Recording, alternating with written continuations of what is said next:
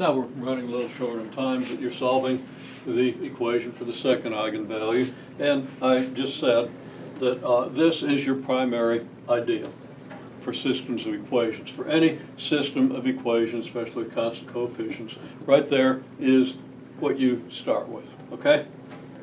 Uh, Doesn't matter if it's a system of two equations, three equations, 10 equations. Of course, if it's three equations, x is going to have three components, and you're going to have the y1, y2, y3, obviously.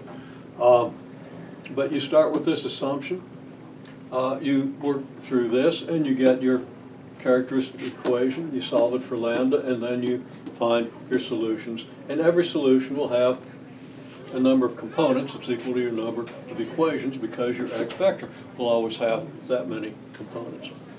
So it's just a matter of solving the simultaneous equations to get some x vector that works, and then writing down your solution and verifying it.